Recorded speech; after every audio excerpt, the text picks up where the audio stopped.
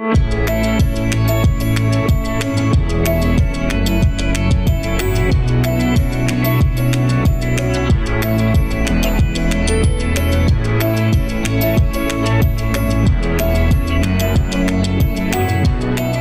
So, um, as you can see, this morning we get to. Um, I'm going to turn this on. I'm just going to make sure it works. Oh, look at that, it works. We love it when technology works, it's good. Um, isn't it cool to have a baptism this morning? Yeah, it's so neat to, um, to see um, people confess their faith to Jesus um, through baptism. Isn't it an amazing thing? Um, the awesome thing is, in, in, two weeks' time, we get to see another three baptisms, which is really incredible for us as a church um, to see people coming to know um, deeper with their, with their Father, with Jesus. So, last week, um, I got to share with you guys a little bit of um, change. Um, and it was a bit uncomfortable because um, change is uncomfortable sometimes. Um, and the response that I called us to was to press into Jesus, to pray, to worship, and uh, to read our scripture. Um, and as I was um, preparing this week, I had another sort of message planned for this week, but God was pressing again back on my heart no, Josh, take our church through what it means to pray, to, um, to worship, and to um, read scripture. So this morning, um, this message, for some of you who are, uh, if you are new to church this morning, this might be the first time you are hearing some of these things. Um, and I hope that it is helpful and encouraging to you. Um, for those of, that, of, us who have been in church for a long time, um, some of these things are a little bit fundamental to our faith. But I hope this morning um, that this message rekindles a fire to be intimate with Jesus. That is my hope and my prayer this morning is that we get to um, leave this place um, wanting and a desire to press in and seek God's face this morning. So, we're going to get right into it. Um, I've written lots and lots and lots of words this morning. Um, let's hear, hopefully, I can read some of them. Here we go. I want to start with um, understanding. Understanding um, intimacy with God. So, what is, actually, what is actually to be intimate with God? Intimacy with God is not a religious duty. Um, rather, it's a dynamic and it's a personal relationship with the Creator um, the creator of the entire universe. It involves a deep connection of the heart, soul, and mind with the one who is intimate with us and the one who knows us intimately. The Bible encourages us, encourages us in James uh, 4, verse 8. Um, it encourages us to come close to God, and God will come close to you. This invitation is, a, is an open door, which uh, an open door to experience the fullness of God's love, grace, and guidance in our lives. This verse encourages the believers to approach God with sincerity, humility, and a desire for closer relationship with Him. Uh, the message is twofold. It's twofold. So, in, um, initially, it's for the believers. It says, "Come close to God."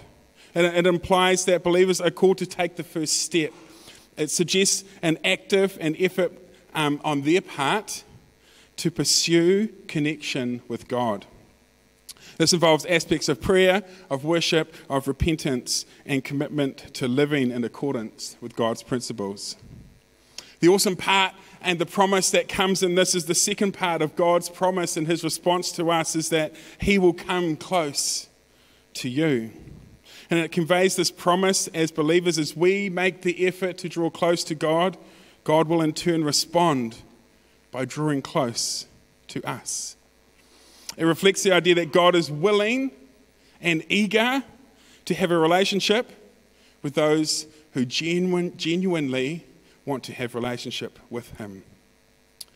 The principles conveyed in this verse is not about proximity, it's not about finding somewhere to go, but it's about intimacy and depth of relationship between believers and their Creator. So now we know a little bit of um, understanding. I want to talk about some pathways this morning. What are some pathways that we can have um, to be intimate with God? Um, and the first one this morning I want to touch on is prayer. Prayer is so powerful. Prayer is communication um, is foundational to any relationship. I know that very well with my wife. Um, if we don't communicate well, things in our home become uh, disjointed and things don't happen. And so communication is foundational to any relationship. Prayer is our direct line to God, a sacred dialogue for us where we pour our hearts. Um, we pour out our hearts, we express gratitude, we seek guidance, and we listen for His voice. So, church, how do we pray? I have five simple tips this morning on how we can pray. The first one is to pray simply. We might think we have to pray a passionate prayer, persuasive words, so that God will hear us, but in reality, He listens to our shortest and our simplest prayers as well. The fewer the words, the better the prayer. Uh, that's what Martin Luther um, said. Uh, isn't that reassuring? It is for me. We can talk to God in everyday language uh, just like we talk to our friends. We don't have to pray uh, long or drawn out prayers, it can be short and simple. God delights in the simple word of praise, something like, Lord, I love you. That's a great prayer. He treasures the anguish in our prayers. God, give me patience. Oh, I've used that one a lot lately. Um, God, give me patience. That's been my most simplest prayer over the last little while. And He answers our prayer requests. Uh, the last one, He, he um, asks simple request that we can give to God is, is this morning, God, give me strength, for I need it. When we pray these simple prayers to Jesus, He hears us and He loves being in communication with us. So, first tip Pray simple prayers. The second one is read the Bible and pray over these verses. And so, have you ever um, had a one sided conversation with somebody? Uh, someone who talked continually without actually listening to you? Um, the conversation didn't go very far, did it? Oh, I've had some of them. Hopefully, I haven't been the person talking too much. Maybe. Oh, I have to reflect on that now. Uh, we do the same thing to God sometimes. We pray without actually listening or reading um, the Bible. Scripture helps us to get to know God and it brings our prayers to life. If you want to have a more effective conversation with God as you pray, read Scripture. Oh, I've got these points. I should bring them up. Here we go. All right. So we've got uh, pray simply, read the Bible, and pray over, over the verses. The third one Make prayer active and multisensory. Okay? Um, prayer grows dull when we turn it purely into a mental exercise. God made us creative beings. He, so why don't we bring this creativity into our prayer lives? Um, lighting a candle and smelling the fragrance of that candle um, sends different signals into our brains. It's time to pray. Um, and it can bring a, a, sacred sense of awe um, in just a few minutes. Listening to music can help us when we pray. It can help us to focus on the words and pray to God. Many people enjoy doodling or drawing um, when they pray, or painting. Uh, some people like going for a walk. Some people like um, picking up things and holding them in their hands, some things that are important to them and that they're praying about. Some people I know keep a prayer journal. Uh, making lists of requests that um, keep their mind alert as they're praying. Occasionally, they write um, longer prayers like a letter in this. Um, a prayer journal builds faith. When you, look over, when you look back over it, this prayer journal can build faith when we read the prayers and see the answers that have come to these prayers. Um, but just remember, you don't just have to sit in a room quietly to pray, you can make it active and multisensory. Number four, make prayer an integral part of your day. Um, the verse always baffled me. Always be joyful. Never stop praying. Be thankful in all circumstances. That's from 1 Thessalonians. Um, is it really possible to pray without ceasing? Ooh. How about trying an experiment? Start and end your day with a prayer. Lift up short prayers to God as often as you can and as often as you think about throughout your day. Pray over your schedule. Pray when you're driving in the car. Lift up, um, ask God to help you with your to do list. Uh, when you're having trouble, uh, pray. When you hear a troubling news report, pray. If you hear the uh, fire siren go off, pray. Lift up these situations to God. Uh, pray for your, for your family. When you uh, have a thought about your, your husband or your wife or your children or your mum or your dad or your uncle, pray. When we have these thoughts, let's pray. Look for moments in our lives, in our everyday lives, where we can pray, going back to number one simple prayers to Jesus. And the last tip that I have, I'll go through this. The last tip that I have is pray expectantly. Prayer becomes a lifeless exercise when we are not looking for answers to it. Jesus invites us to expect God to work. Um, keep on asking and you will receive what you ask for. Keep on seeking and you will find. Keep on knocking and the door will be open to you. For everyone who asks receives, everyone who seeks finds, and everyone who knocks, the door will be open to them. Comes from Matthew 7 7 to 8. How much more exciting is prayer when um, our eyes are kept open to watch what God is doing through our prayer life? Sometimes I wonder how many answers I miss because I don't really expect God to respond to my prayers. So, pray simply Read the Bible and pray over the verses. Make prayer active and multisensory. Make prayer an integral part of your day and pray expectantly. So, church, how about we just get started today? That's easy. Uh, don't get discouraged. Don't get discouraged if you get distracted like I do. Just get back on track. Pray and watch for God's answers so you can thank Him. He might answer differently than you expect, but His answer will always be better than what you actually had in mind. Pathway to intimacy with God is to pray. Um, the second pathway to intimacy that I want to look at this morning um, involves reading the Bible. It's good when I laid it out before I started, eh? So we know where we're going. This is good. The Bible is God's living word, a treasure trove of wisdom, comfort, and revelation. Regular meditation on Scripture allows us to discern God's will and understand His character and draw close to Him. Psalm 119, verse 105 reminds us that God's word is a lamp unto our feet and a light unto our path. So, how do we read our Bible? Oh, more helpful hints from Josh. That's our, our maybe I should have said that helpful hints from Josh this morning. No, here's some things that, that I use that um, help me to read my Bible. The first one is to choose a Bible that is easy to read. Here's the truth if we don't understand it, we're not going to read it. The Bible was originally written in Hebrew and Greek. I don't read Hebrew or Greek.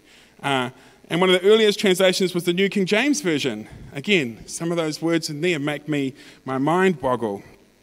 But today we have a variety of versions to choose from. Some translations focus on being more precise, and others are best for Bible studies.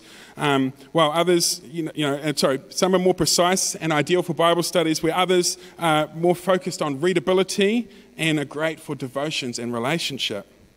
Uh, if you're beginning to read your Bible, uh, my recommendation is to find a Bible that is a New Living Translation. Uh, this version is uh, very, very readable uh, while still being literal and translation, uh, literal in its translation. The other thing I love about the New Living Translation is the way that it includes gender uh, inclusivity in its word.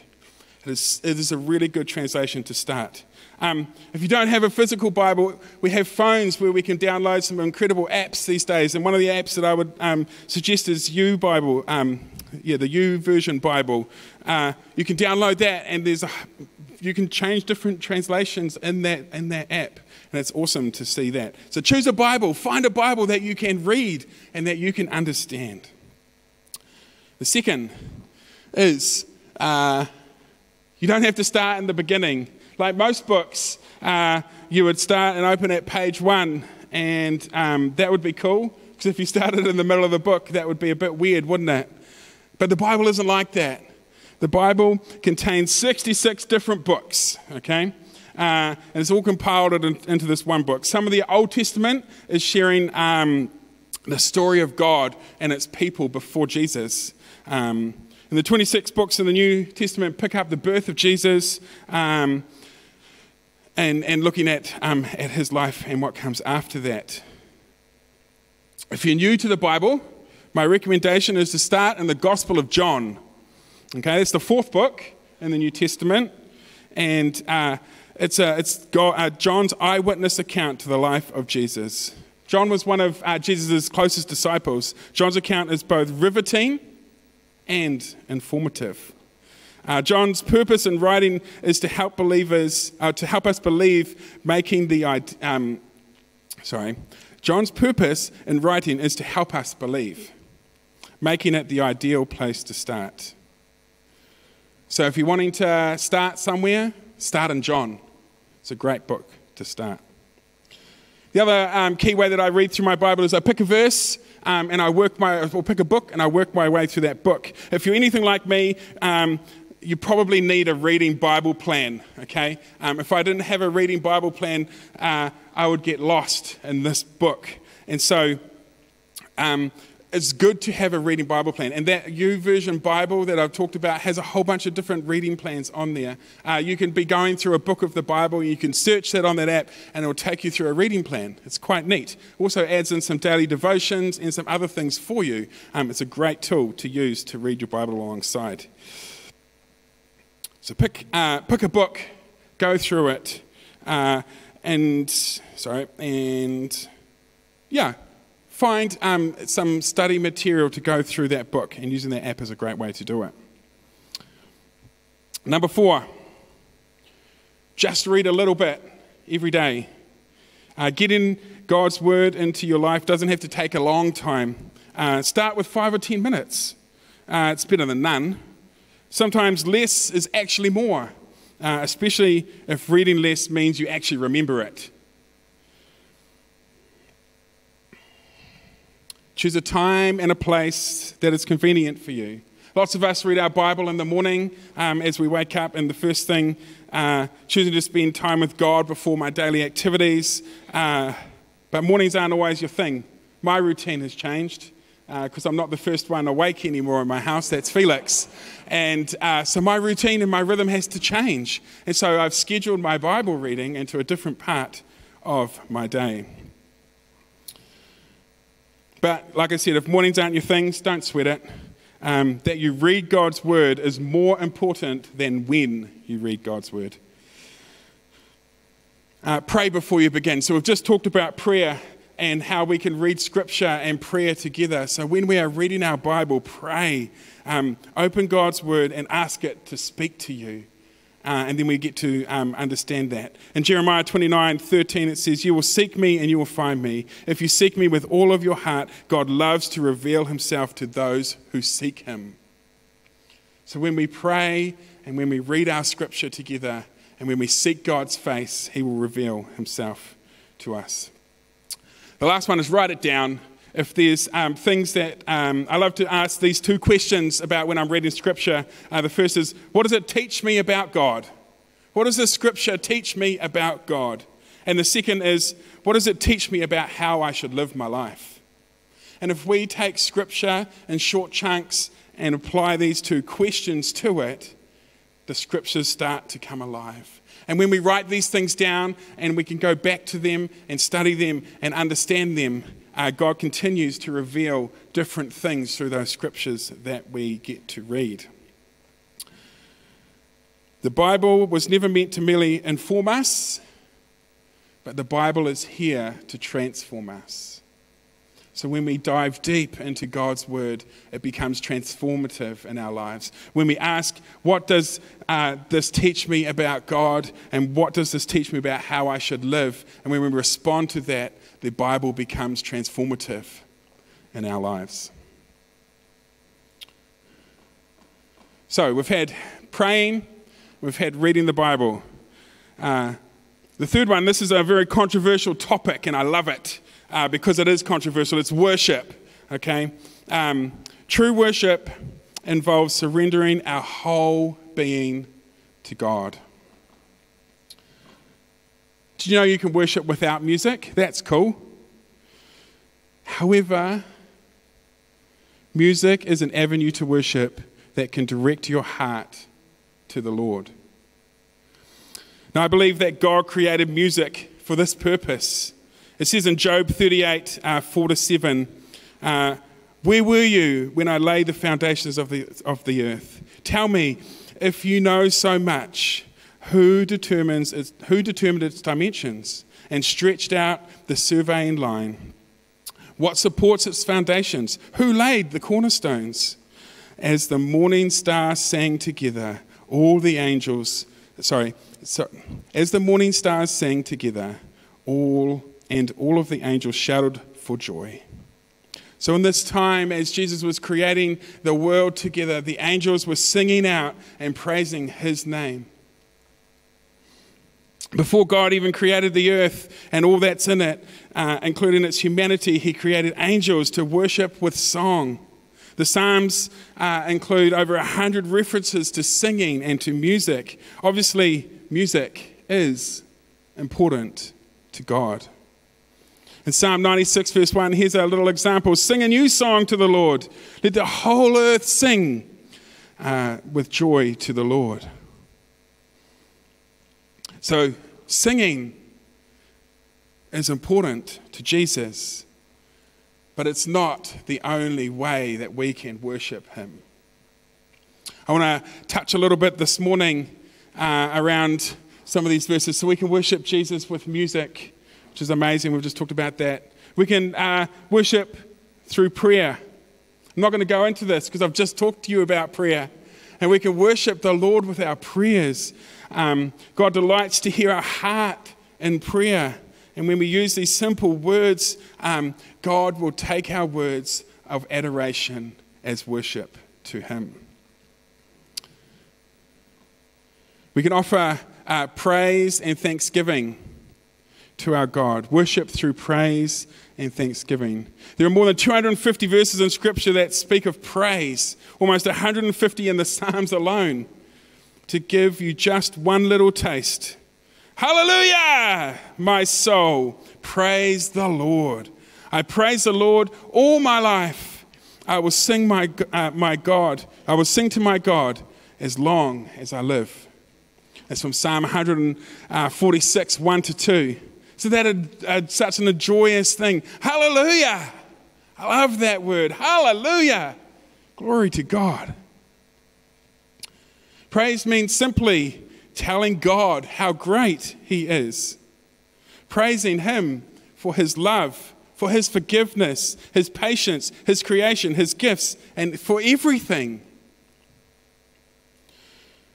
We get to praise Him. We also get to have hearts full of thanksgiving. Uh, thanksgiving is similar, but instead of praising Him for who He is, uh, we get to express gratitude for what He has done for us. I got two eyes. Uh, that's good for me. Uh, I thank Him that there's a roof over my head. I thank Him that I have food on the table. I thank Him that I have uh, a beautiful family. I thank Him that I have this body of Christ together um, to worship with. I thank you that He is my Savior. We get to thank Him for the things that He has done.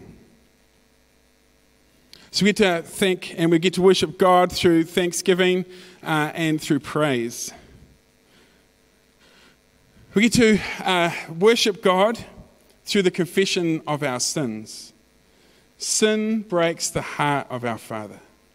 He weeps to see his children making wrong choices, just as any loving parent would. But He has made a way for us, He has redeemed us. It's through Jesus.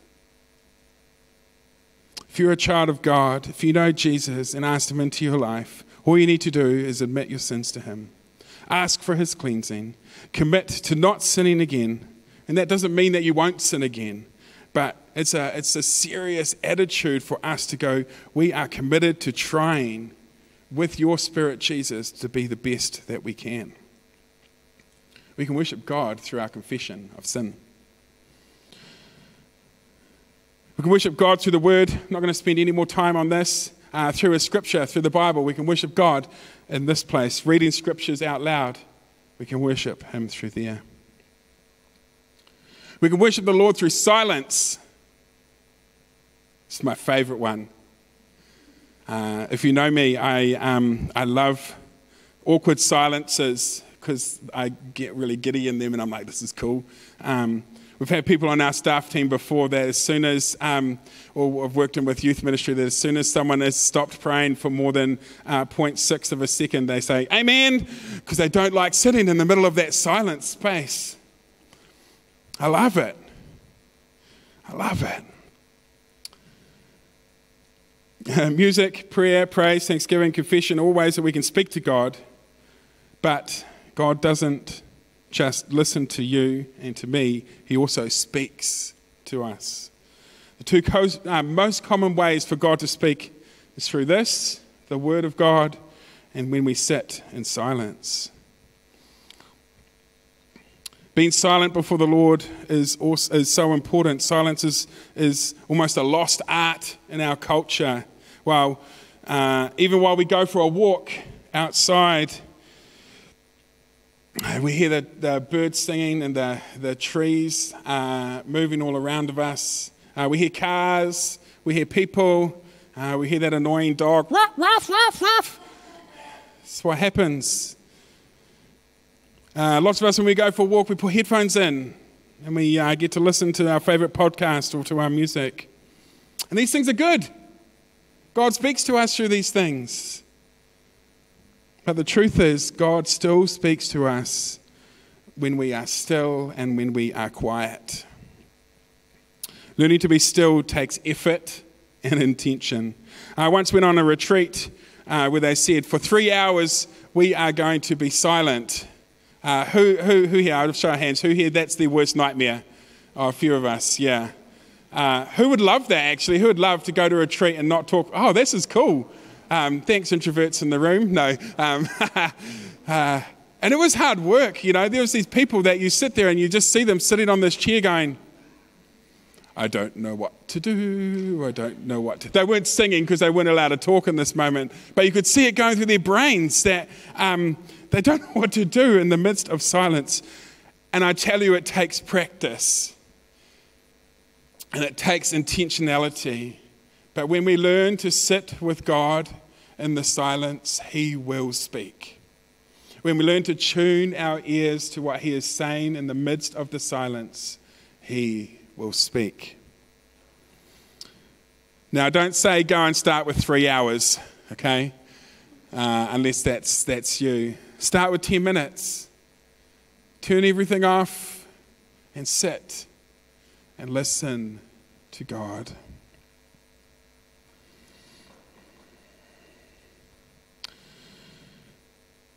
We get to worship through uh, Thanksgiving and service. Um, a few weeks ago, um, I got to talk around um, the end of Philippians where we got to celebrate you guys and thank you guys for the work that um, we do together as, as the body of Christ. And when we worship the Lord with our hearts in serving and giving um, together, we get to um, we get to see and get to experience what God has for us through serving and through giving. I simply want to say this morning on this uh, when you give of your time or of your money or of something else, give with a heart that is gracious and give with a heart that is honoring to God. Because remember, God has already given to us in abundance. So we can worship the Lord through giving and through serving. Uh, two more people, two more in worship. There's lots of different ways to worship. Worship the Lord through nature. Uh, worship, worshiping the Father through spending time in His creation. We talked earlier about He is the creator of the world, He has created everything. Nature testifies to the spectacular, amazing, creative powers of the Lord and His greatness of glory. As you walk out in the street and through the park, I talked about it earlier, we get to praise God uh, for the pīwakawaka that are fluttering around all over the place. Uh, they, they come into our, into our um, verandas and our decks and they go, oh, hi, and they fly away. We get to uh, hear the tuis and the bellbirds as they sing uh, beautiful songs. We get to um, thank God for the turning seasons and then them turning back to rain again um, this week. That was great. We get to praise God in the turning of the seasons. Uh, we get to thank God for the oxygen that we breathe uh, the sun that shines, the blue sky that's outside today. As we worship God through nature, we get to let nature do its job in helping point us back to the one who created it. The heavens declare the glory of God, and the expanse proclaims the work of his hands. It's talking about the creation of the world. It's from Psalm 19, verse 1. The last one that we worship through this morning is our daily lives. God doesn't, um, does not despise small offerings. We talked about um, in prayer that God likes our simple prayers. So, in the dailiness of life, worship the Lord by being faithful in the small jobs that He has given you. Maybe doing the laundry, maybe doing the dishes, maybe working at a job that you just barely tolerate, or one that you love maybe raising your children or paying your bills. Faithfulness in the small things result in larger opportunities to be faithful. What God, uh, what does worshiping in the daily life look like? Here's some examples. I'll just shared some of them. Um, praying for God, praying for your children who you've just finished doing the dishes, and then they go and dirty three more praying uh, that you've just finished hanging all the washing on the line and they decide to go and kick a soccer ball against it. This is my list of um, worshipping in my daily life. Thank you, God, for a healthy family when we're fixing our meals, when we're making dinner. Let's thank God for our families. Listen to God speak to you in the quiet and as you commute, as you turn off all the other noises, as you sing worship songs in your car. Spend time in prayer for those who are less fortunate than us. And after you, uh, so to do that after you've just finished paying your, your bills, your power bill. Or pray for those who are less fortunate after we give our tithes and offerings to our church. Ask Him to show you creative ways to worship Him throughout the day, and He will. Worship should be a specific time, uh, sorry, shouldn't just be a specific time in our day or our week where we come and worship here. But we can worship God in all that we do.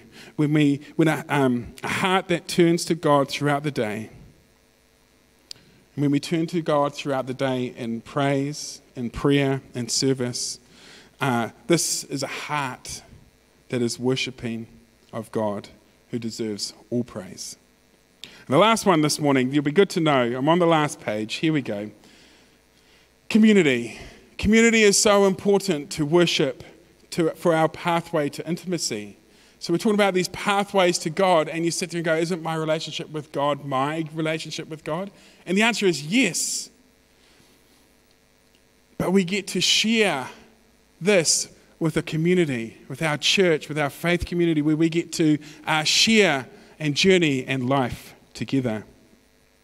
Intimacy with God is not an isolated experience. The body of believers play a crucial role in our spiritual journey. Fellowship, accountability, and shared worship experience contribute to a richer and a deeper connection with God.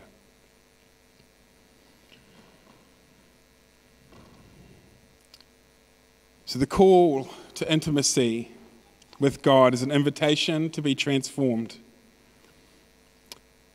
and it's a transformative and a fulfilling relationship.